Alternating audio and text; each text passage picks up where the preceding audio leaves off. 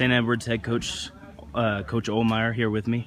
Coach, what did you think about your team's play here in the Heartland Conference tournament?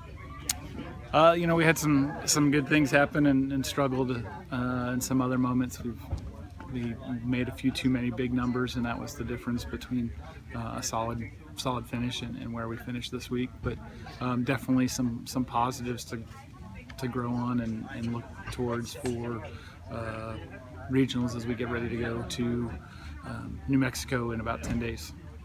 Uh, Andrew did a great job this week. Um, you know, especially his round yesterday was fantastic, and then today got off to a tough start and, and could have kind of let it bother him and, and let the, the, entire day get away from him. But he battled back and made some birdies coming in and, and held together, which is great for us as a team and great for his teammates to see.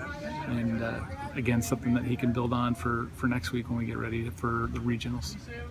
All right, St. Edwards, Andrew Spear here with me. Andrew, what do you uh, think about your play here in the tournament? Uh, I mean, overall, it was a pretty good week.